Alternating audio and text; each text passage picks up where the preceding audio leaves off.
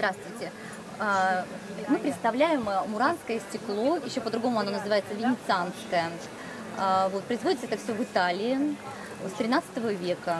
Все делают художники, они очень уважаемы во всем мире и работают э, а, со многими известными художниками мира, изготавливают многие вот эти вот украшения, которые мы видим.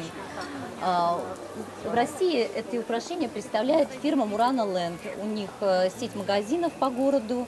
А, Вот, э, их можно найти на сайте www.muranaland.ru.